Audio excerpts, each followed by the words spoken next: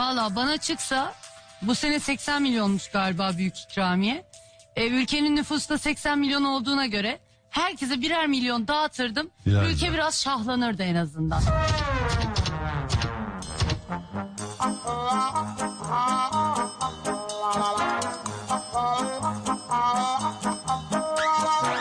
Birer lira düşüyor.